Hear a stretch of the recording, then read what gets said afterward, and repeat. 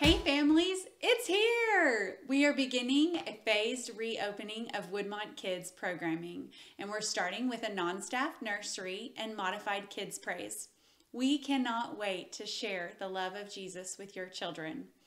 Before we let you dismiss and get on your markers in the lobby, we want to remind you of a few things.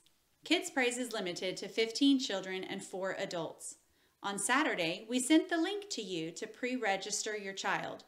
For our members, if you forgot to register and there's still space available, you can wait at the end of the line and we will assist you.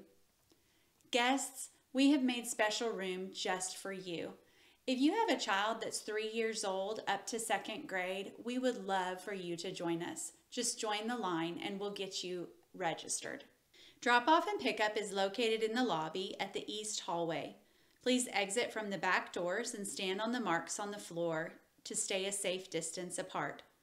We will print tags for you and get you checked in as you wait in line.